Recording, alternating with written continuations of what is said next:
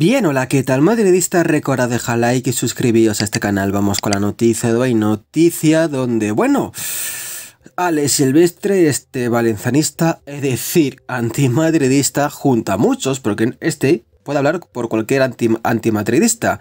La Liga Española va a convertirse en la Liga Francesa, va a monopolizarla el Real Madrid. El abismo entre clubes con la llegada de Mbappé está como llorando cuando al final el Real Madrid, si consigue monopolizar esta liga, es por méritos propios, porque está formando un equipo, un equipazo. Si en Mbappé ya es un equipazo, que veremos si gana muchas cosas o no. Debería, por lo menos en España. Ojalá que sea así, por favor. Eh, pero claro, es como que no, que injusto, ¿no? Para los demás equipos, hombre. Si el Real Madrid lo está haciendo de puta madre, en todos los sentidos, ¿qué culpa tiene, no?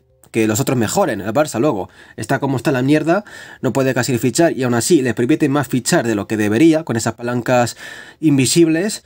¿Y qué hacemos? ¿Qué hacemos? Al final, no sé, con el caso Negrera, el Barça pagaba al comité de árbitros, que eso es monopolizar la liga perfectamente y aquí nadie decía nada y ahora siguen sin decir nada. Y ahora, bueno, la culpa será si el Madrid gana, yo qué sé, unas cuantas ligas seguidas, 4 o 5 por ejemplo, pues no, pues no tiene mérito, porque claro, el Real Madrid lo tiene muy fácil. Hombre, tampoco es eso.